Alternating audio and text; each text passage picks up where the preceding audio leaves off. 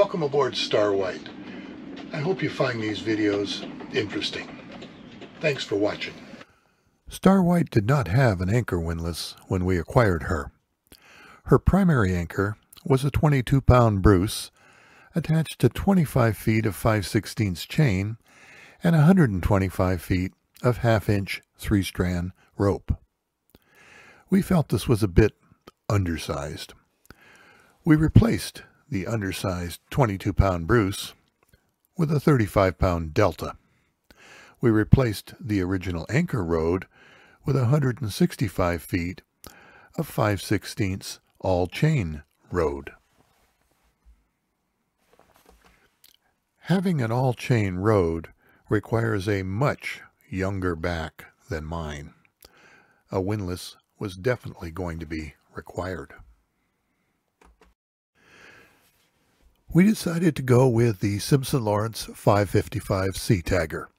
It's a windlass that we're quite familiar with, having had it on previous boats and used it throughout the South Pacific.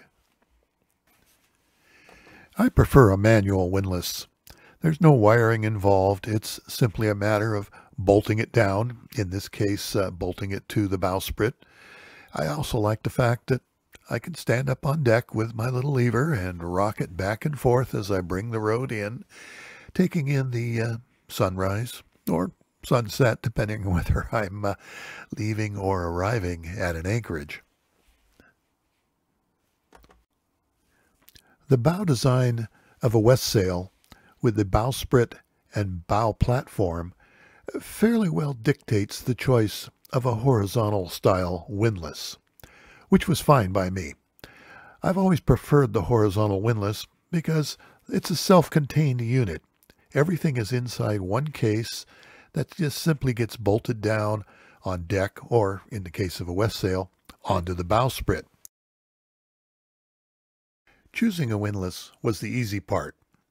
Deciding on the best mounting location on the bowsprit was a bit of a challenge. The final location was chosen to minimize interference with the staysail bag and allow the chain to drop into the deepest, widest part of our anchor locker to avoid castling. Castling is when the chain piles up and then falls over on itself. This can lead to jamming the next time your chain is deployed.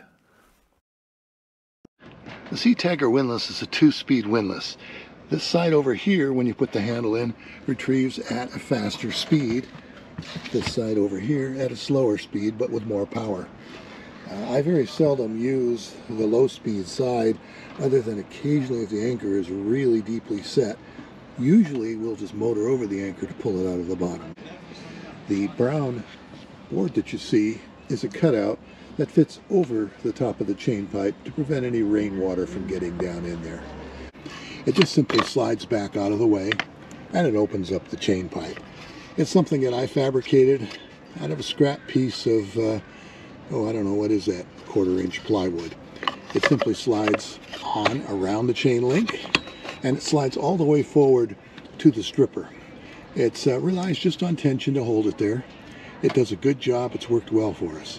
As you can see, we fabricated a continuous length for the chain pipe. This is a stainless steel pipe that runs down through the deck. So we can try to eliminate as much water as possible from getting down into the chain locker itself. I keep the handle for the windlass down below here. I've got a string attached to it so that uh, if somehow it gets out of the way, it uh, not going to go anywhere. The numbers that you see on the back of the shoe here are reminders for me about the markings on the chain and how much chain we have out.